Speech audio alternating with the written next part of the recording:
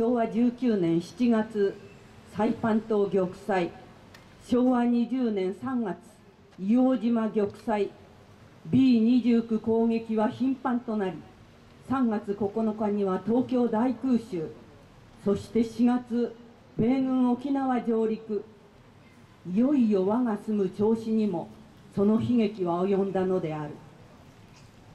昭和20年7月19日午後9時過ぎ警戒警報が発令された。空襲になったらこの氷を防空壕へ入れてね。といつものように母に頼み防空頭巾を頭にし身の回り用品救急用品を入れたカバンを肩に下げ学校に向かった。職員室へ集合して間もなく空襲警報発令。途端にバリバリという音。急いで校舎の東側の横穴式防空壕に入る。やがて爆音も遠ざかったので壕から出て教室へと走った。教室には焼夷弾から飛び散ったと思われる青い布が床のあちこちに散らばって燃えている。急いで火消し棒でこすり消し始めた。途端に何千本かの鉄棒で大地を叩かれるような機銃奏者。身のすくむ思いで再び壕に入る。土の壁に身を寄せじっとしていた。外は激しい機銃奏者が続く。この中にいたらみんな一緒に焼け死ぬかもしれないね。のささやき声があちこちにあちこちに起こりその声は次第にうろたえそして焦りに変わっていった。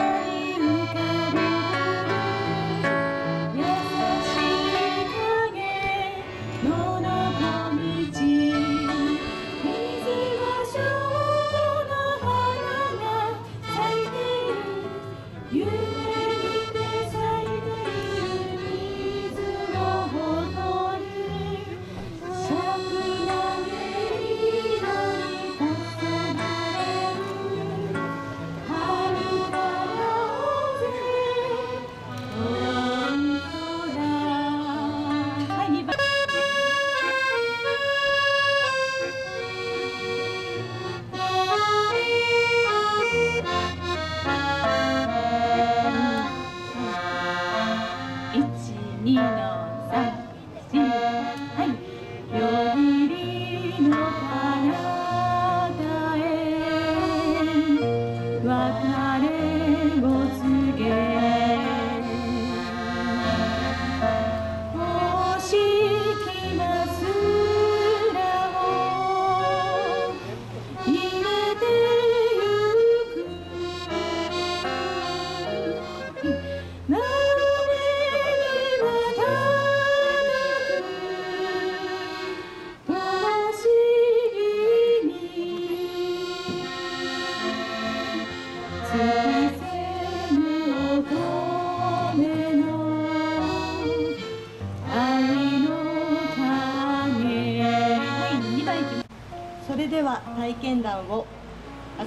在住の深堀さんにお願いします。深堀さんお願いします。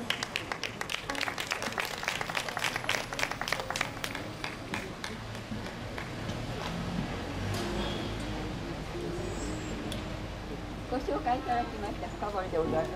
あの私座ってしまいますと見えなくなってしまいますので立っていつも話しているものですから。あの戦争当時私は千葉県民ではございませんでしたのであの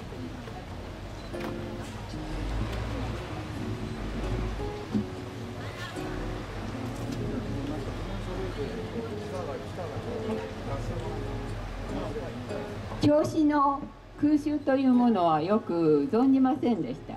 で先ほど野口さんがお話ししていらっしゃいましたようにその当時私が調子について聞いてたことは B29 が東京や横浜を、うん空襲して帰ろうと思ったら機機内に焼夷弾がまだ残ってたから。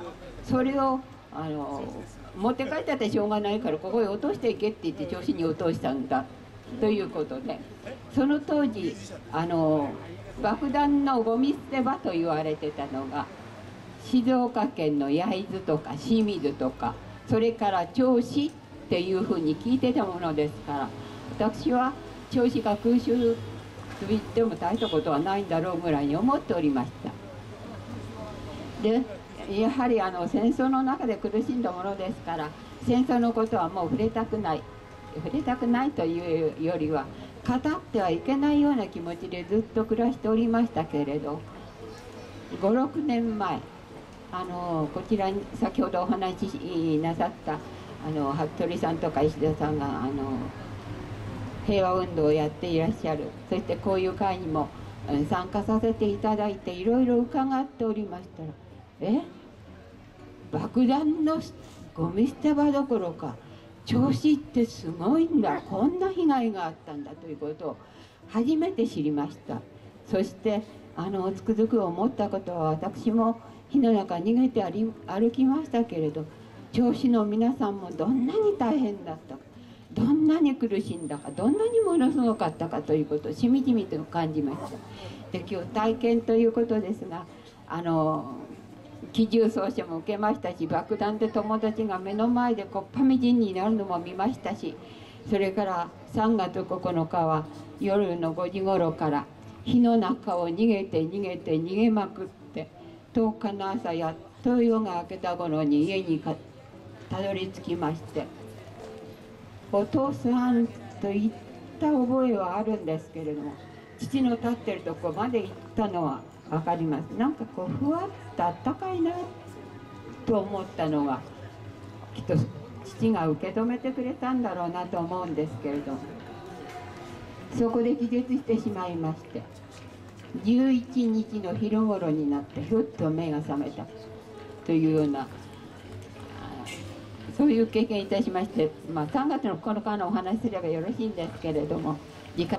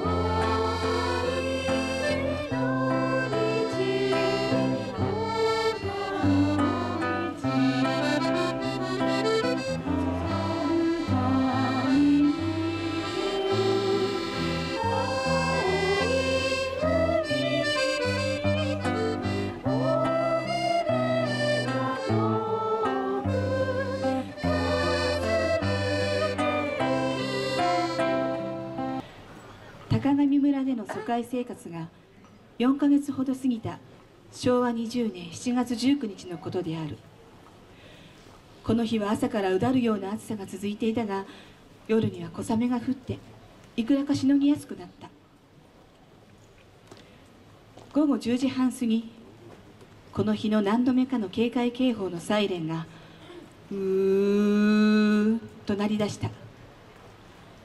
母は床の中でサイレンを7つまで数えると起き上がって子供たちを叩き起こした。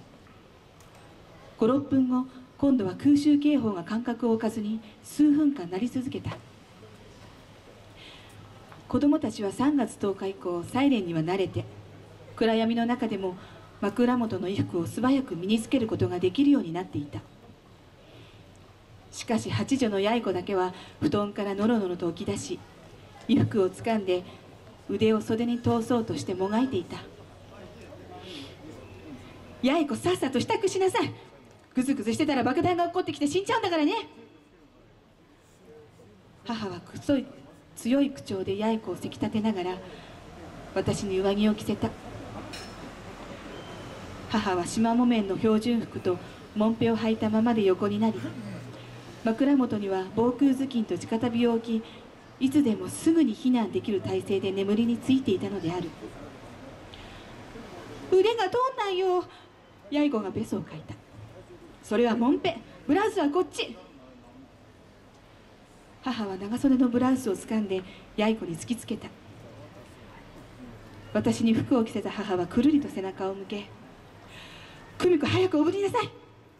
八重子はもんぺを履くの。それから防空頭巾をかぶるの。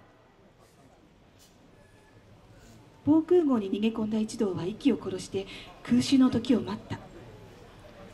ほどなく彼方から B29 の不気味な爆音が聞こえてきた。今夜のはすげえぞ。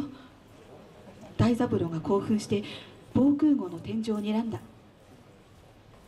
この夜の爆音はいつになく大きかった。地響き地鳴りはさらに続いた。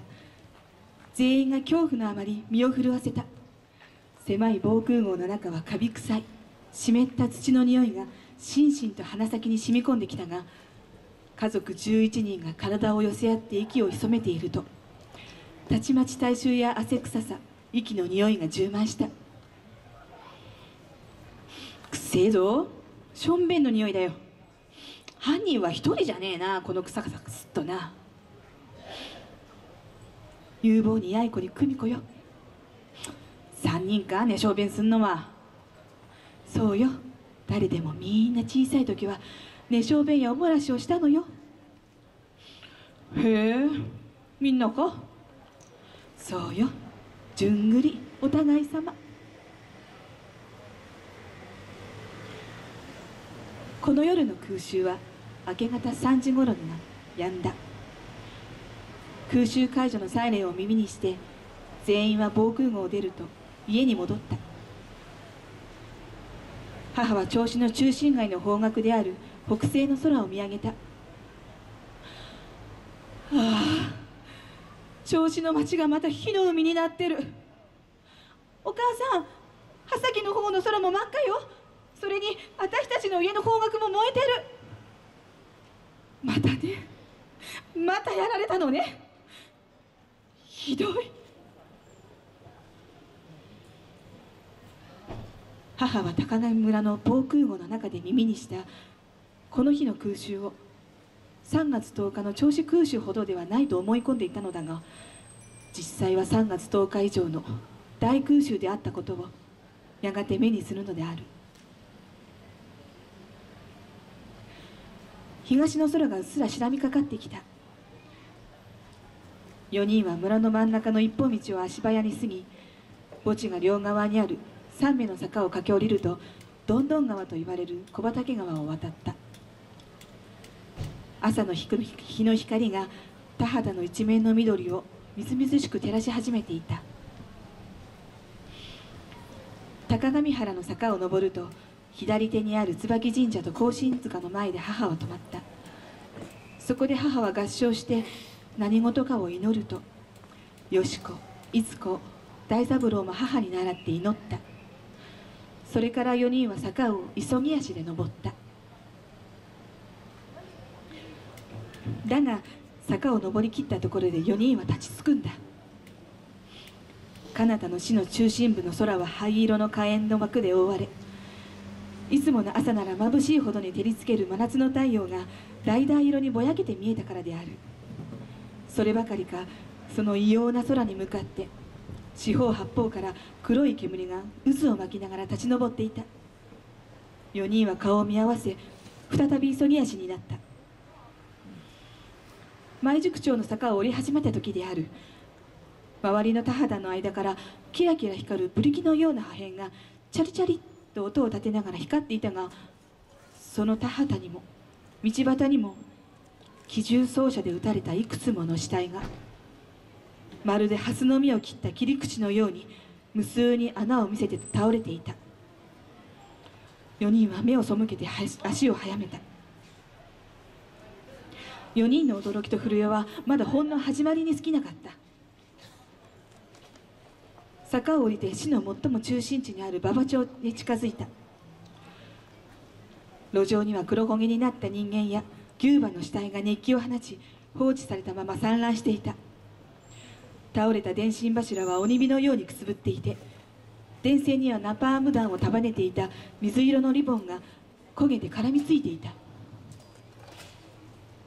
その電信柱の下には母親とその背中に背負われた2歳ぐらいの男の子がうつ伏せになって死んでいた。